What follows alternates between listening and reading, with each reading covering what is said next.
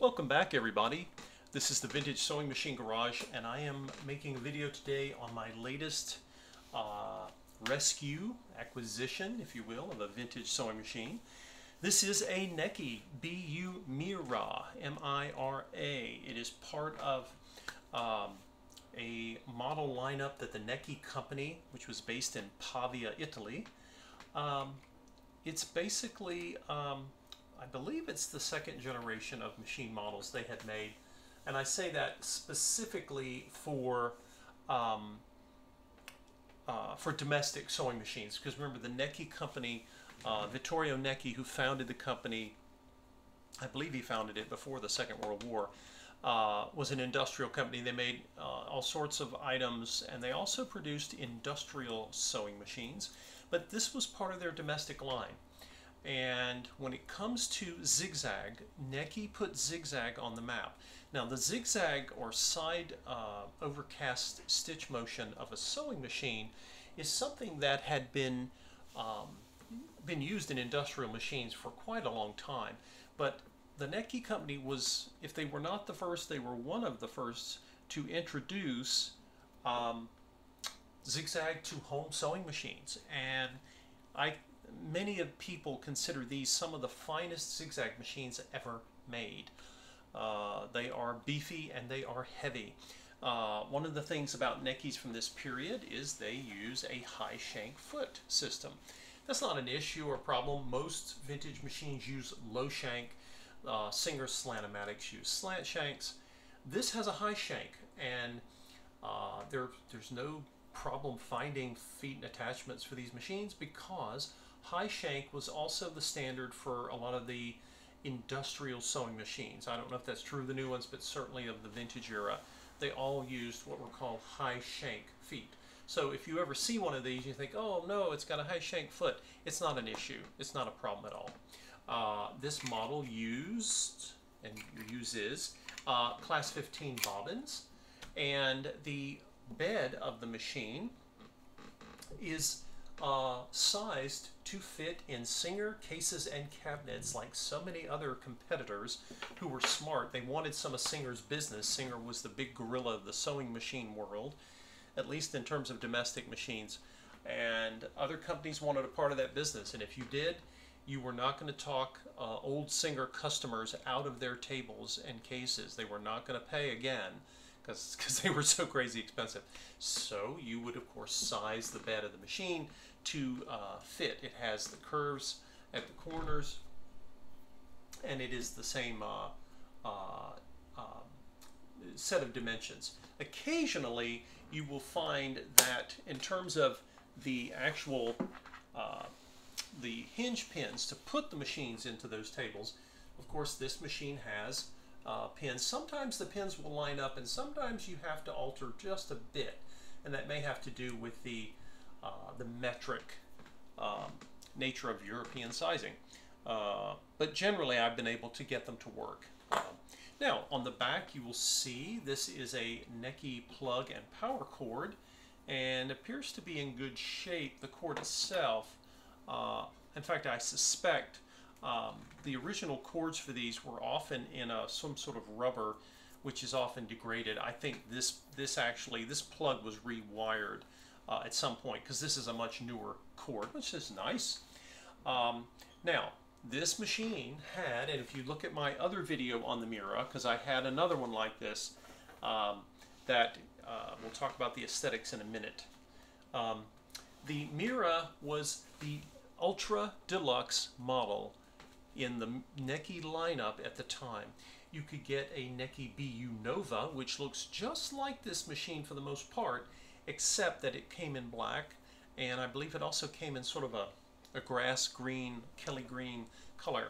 But this one in this sort of sage grade green color, uh, when you see this color, you are often looking at the, um, the Mira model.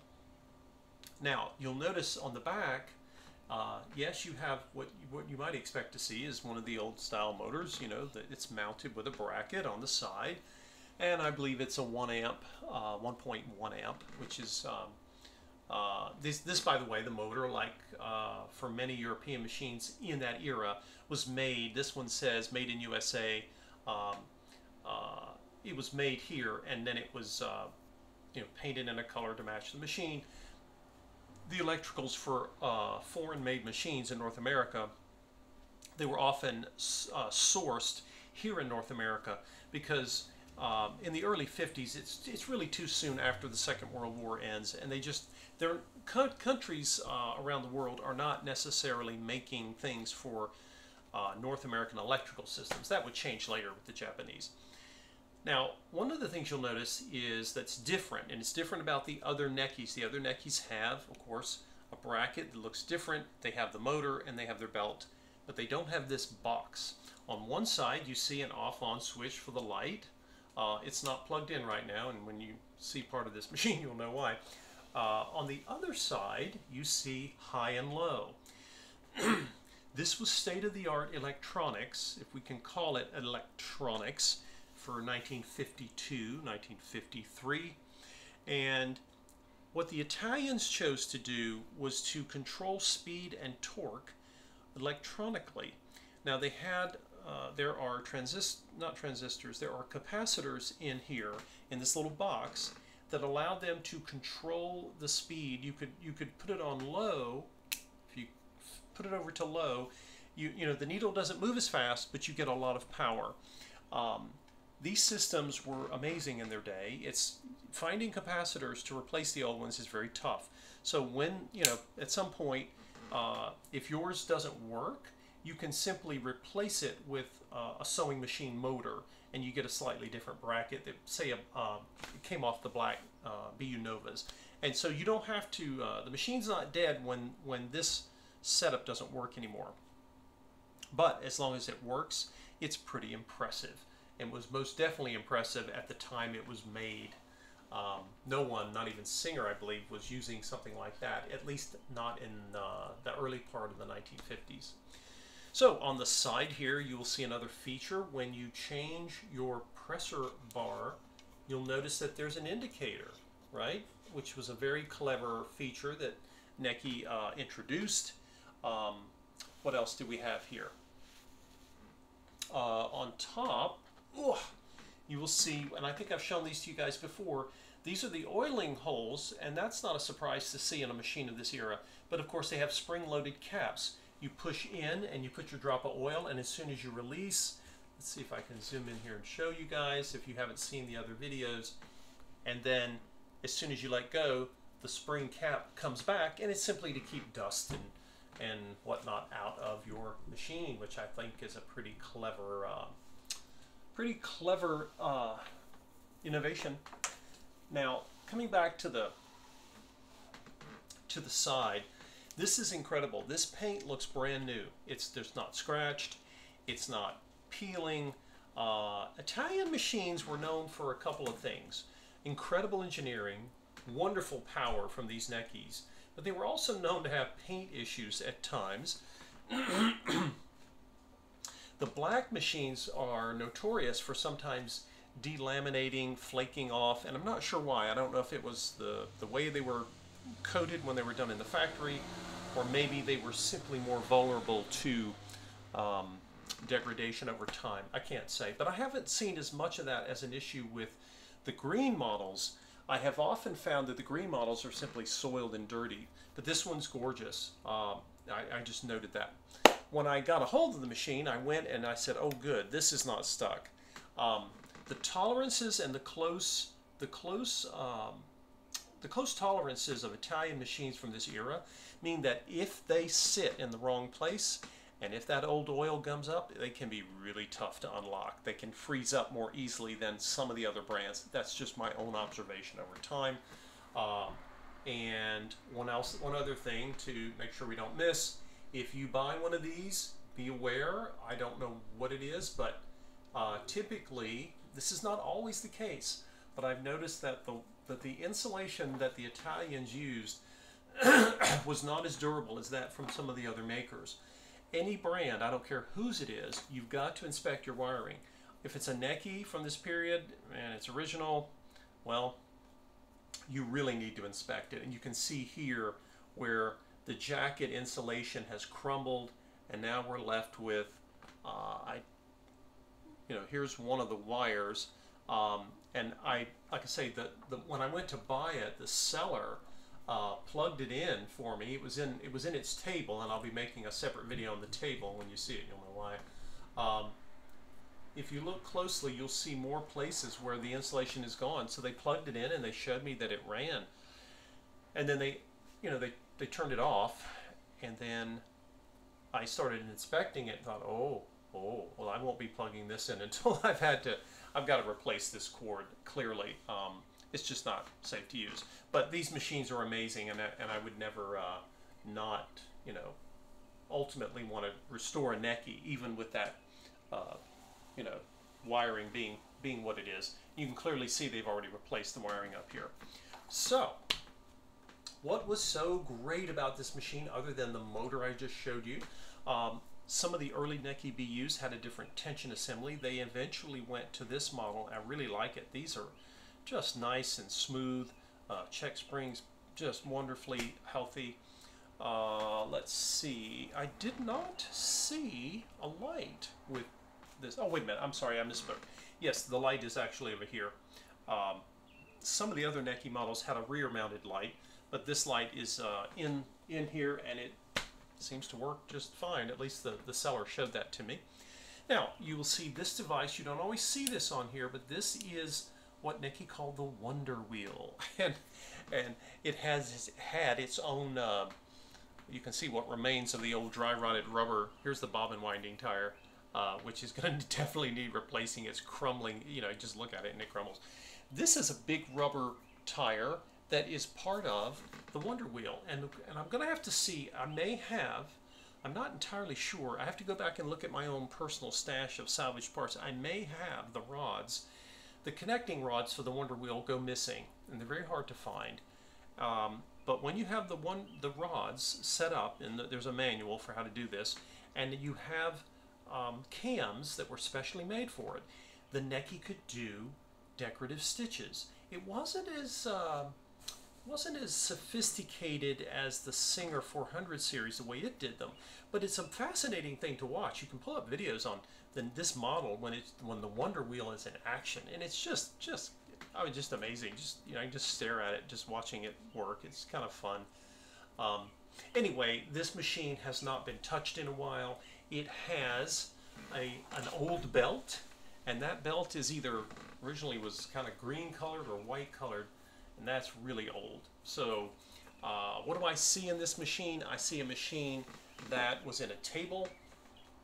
Um, I got it from a place, it had been sitting for about a decade. The original owner had left it and uh, the place where they lived had kept it and finally it was being sold and I went and purchased it. Um, this is a very heavy machine. People who are very uh, interested in uh, mending the sails of their boats are particularly fond of these. When it comes to zigzag models, um, the Necchi is one of the uh, the most popular. It, it really is. And one of the things that I don't know if this is visible here, but I'll try to show you guys. Um, when I go to, there's a needle position uh, adjustment, and it's to the right at the moment. Let me take the fabric off of here, just to kind of simplify a little bit.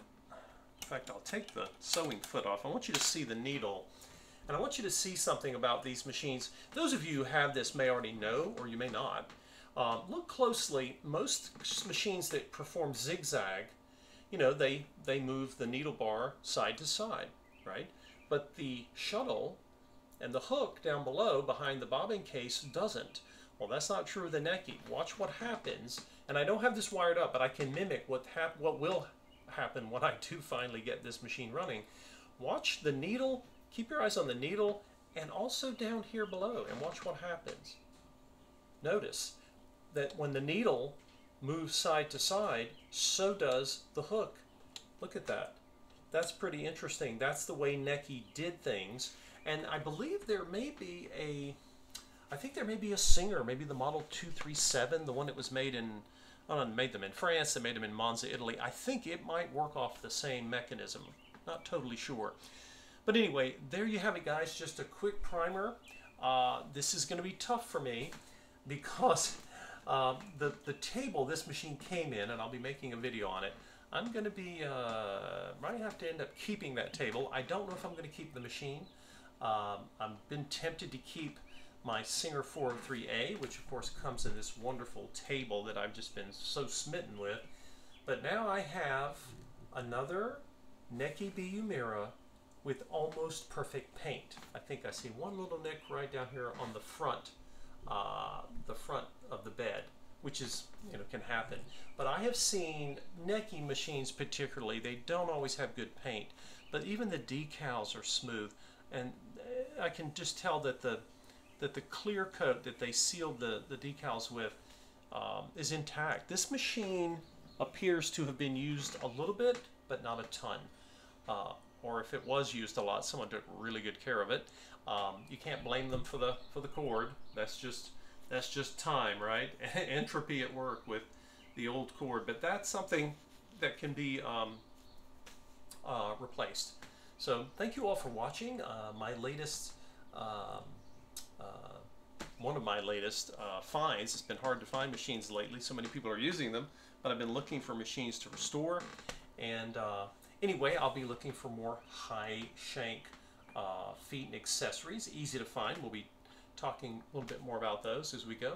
Let me know what you guys think. Do you have a Necchi from this period? Um, I've, if you go on my channel and you search under Necchi, you'll find a number of these. I, uh, I've had one like this that was in gorgeous shape like this one. The paint was shiny, it was relatively clean.